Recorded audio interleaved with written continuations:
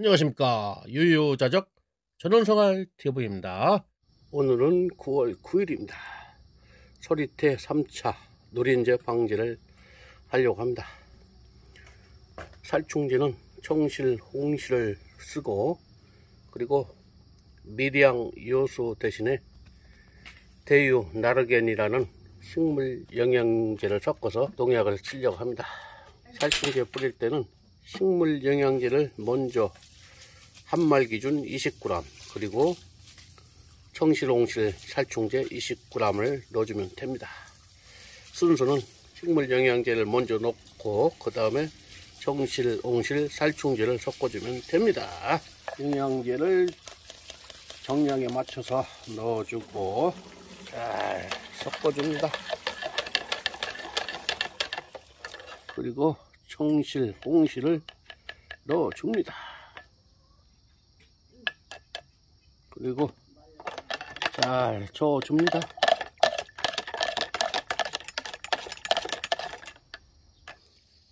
마당에 심은 서리태부터 3차 방지를 해주겠습니다. 이건 관찰용으로 지금 보니까 서리태는 서리태에 누린재는 붙어있지 않, 않지만은 이렇게 미리 방지를 해줘야 되겠죠. 이거 열매가 맺혔죠. 이제 꽃이 지는 것도 있습니다.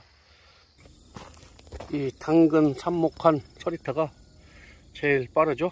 지금 꼬다리가 많이 붙어 있습니다. 꼬투리가 이렇게 많이 붙어 있고 그리고 매우 덩치가 크죠. 이쪽부터 3차 노린재 방지를 해주겠습니다. 꼬투리가 엄청 많이 달렸습니다. 톱다리 개멸이 누린자가 한 마리 지금 눈에 띄었습니다. 잘 움직이지 못하죠?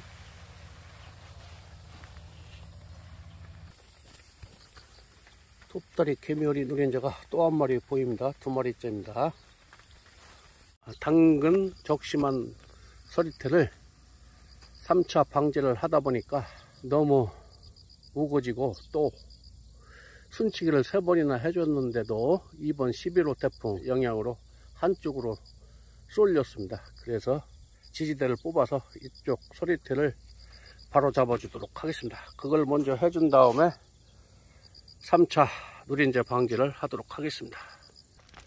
소리태가 많이 달리기는 달렸죠. 꼬투리가 많이 달렸습니다. 오늘 3차 누린재 방지는 하루 종일 해야 될 것 같습니다. 누린재 방지 한번 뿌리고 나니까 이 콩이 많이 쓰러져 있죠. 순치기를 세 번 했는데도 많이 쓰러져서 이렇게 양쪽으로 줄을 띄워서 이렇게 세우고 있습니다. 시간이 많이 걸립니다. 열매는 많이 달렸는데 너무 커서 쓰러졌죠. 그래서 이렇게 세우고 있습니다. 그리고 간격이 30cm 뿐이 안 되니까 너무 간격이 좁죠. 그래서 내년에는 한 50cm 이상 띄워줘야 할 것 같습니다. 야 콩은 잘 커가고 있죠. 살충제를 뿌리다가 소리터가 쓰러진 것을 알고서 다시 일으켜 세우는데 4시간이 걸렸습니다. 농약은 이제 한 번 쳤는데 앞으로 네 번 정도는 더 쳐야 되겠죠. 그냥 뒀으면은 수확량이 한 반 이상 떨어졌겠죠. 그래서 일단 이렇게 세웠는데 가지가 부러진 게 좀 있습니다. 그래도 이렇게 이렇게 세우는 게 낫겠죠. 11호 태풍 흰남노 힘이 남았으면 딴 데나 칠 것이지 충청도 세종시에도 조금은 영향을 미쳐서 소리터가 더 엎치고 덮치고 쓰러진 것을 다시 세우는데 4시간이 걸렸습니다. 단근, 격심, 삽목한 소리태 두 줄인데도 이거 세우는데 4시간이 걸렸습니다. 다시 소리태 방제를 하도록 하겠습니다. 어, 두 번째 누린제 살충제를 탔습니다. 또 다시 밭으로 가겠습니다. 소리태가 쓰러져 갖고 일으켜 세우는데 4시간이 걸렸습니다. 오늘 2시간이면 끝날 3차 누린제 방제가 총 6시간 정도 걸리게 되었습니다. 출발합니다. 3차 누린제 방지에서 톱다리 개미열이 누린자가 오늘 세 마리째 지금 보이고 있죠. 쓰러진 소리들을 다 일으켜 서 오니까 고랑이 넓어졌죠. 그래서 농약 방지하기는 아주 좋습니다. 지금 톱다리 개미열이 누린자가 세 마리째 보였습니다. 세 통째 출발합니다. 누린제 살충제를 뿌리고 있습니다. 이제 서서히 마무리가 되어 가죠. 지금까지 톱다리 개미열이 누린자만 8마리 나왔는데 여기 알록 누린자가 한 마리 나왔죠. 그래서 총 9마리의 누린자가 보였습니다.